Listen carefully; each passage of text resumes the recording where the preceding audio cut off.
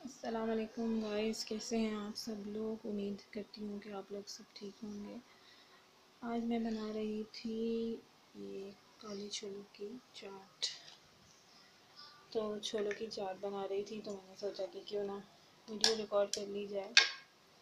इसके लिए सब चीज़ें मैंने तैयार कर ली हैं यहाँ पे, क्योंकि अगर मैं अभी सारी शॉपिंग वगैरह करती तो बहुत टाइम लग जाता। तो मैंने सोचा कि कर लूँ सब। तो हम स्टार्ट करते हैं। मैंने एक प्याला छोले ले लिए थे। मैंने वाइट और ब्लैक मिक्स करके लिए थे। जैसे एक प्याला ही लिए थे। वो मैंने भिगो दिए थे पूरे रात के लिए। फिर सुबह मैंने उसको बॉईल कर लिया था।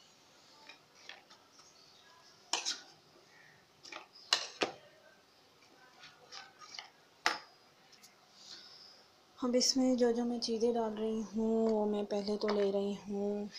इमली की चटनी का पल्प मैंने निकाल के रख लिया था और दही भी मैंने यहाँ पर ले लिया जैसे आप देख रहे हैं। और ये इमली की चटनी है, ये मैंने घर में ही बनाई हुई है।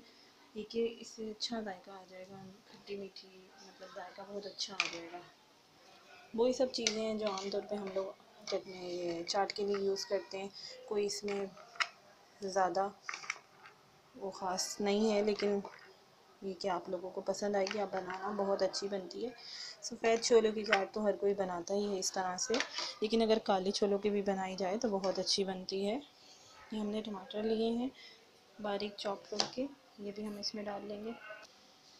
जैसे कि आप लोगों ने देखा, मैंने टमाटर डाल लिए, इसमें बारीक कटे हुए और धनिया, पुदीना था मैंने, वो बारीक कटा हुआ डाल लिया। मैं हरी मिर्ची इसलिए नहीं डालूँगी क्योंकि बच्चा भी मेरा खाएगा, बच्चे भी खाते हैं तो उनको मिर्ची बहुत ज़्यादा लग जाती हैं। और आलू का ये साइज़ मैंने इसलिए रखा है क्योंकि ये बॉयल है तो जब ये अगर हम और बारीक कर देंगे तो ये पिस जाएगा बिल्कुल तो वो अच्छा नहीं लगता तो इस वजह से।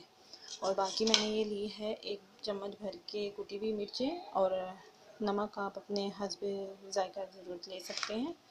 और ये मैंने लिया है चाट मसाला, एक चम्मच। तो ये आप एज़ रिक्वायरमेंट अपने, और इसमें मैंने एक चुटकी या दो चुटकी, जैसे आपको ज़्यादा पसंद है तो मैंने काला नमक डाला है। अच्छा होता है, बहुत अच्छा होता है हाजमे के लिए। अब इसमें मैं प्याज डाल लूँगी और प्याज मैंने चॉपर में बिल्कुल चॉप कर लिया क्योंकि चॉप प्याज, बिल्कुल चॉप प्याज अच्छी लगती है। कुछ लोग बड़ी डालना चाहते हैं, बड़ी भी डाल सकते हैं आप लोग, बड़ी काट के जैसे सालन के लिए स्लाइस करते हैं, वैसे उसको मैं बड़ा बोल रही हूँ। और ये चार, ये चटनी है हमारे पास और ये दही है। दही है हमारे पास, एक बाउल दही है ये ये भी मैं इसमें डाल दूँगी। तो सारा काम दही का ही होता है तो मैं ज़रूर, मैं ये सारा इसमें डाल दूँगी। अब मैंने ये एक चम्मच भर के जो इमली की चटनी घर में बनाई हुई थी, जो मैंने आपको बताया था, वो भी मैंने डाल लिया अब हम इसको इसको अच्छे तरीके से मिक्स कर लेंगे और फिर आपको इसका फ़ाइनल लुक दिखाएँगे। और ये हमने अपनी चाट को मिक्स कर लिया है। जैसे कि आप देख सकते हैं, चाट बहुत ही मज़े की लग रही है और है भी बहुत मज़े की। मैंने एक चम्मच टेस्ट करके देख ली है। तो कि बहुत अच्छी बनेगी, आप लोग बना के देखिए। और ये कि मसाला और मिर्चें वगैरह आप अपने हिसाब से रख सकते हैं, कोई इसमें वो नहीं तो अब ये मैंने आलू जो बड़े काटे थे, ये बड़े काटने का मकसद ये था देखिए अभी मैंने मिक्स कर दी सारी।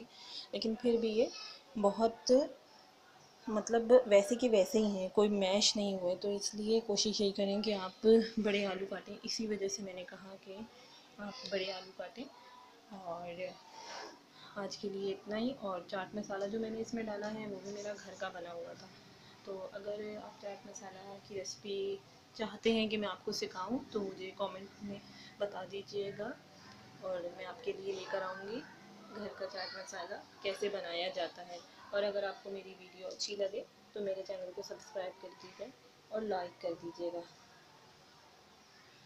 और बस यही दुआ है कि अल्लाह ताला सबको अपने हिफ्ज़ में रखिए, खैर से रखिए और बस सेहत और तंदुरुस्ती वाली ज़िंदगी अता करे। और अल्लाह हाफिज़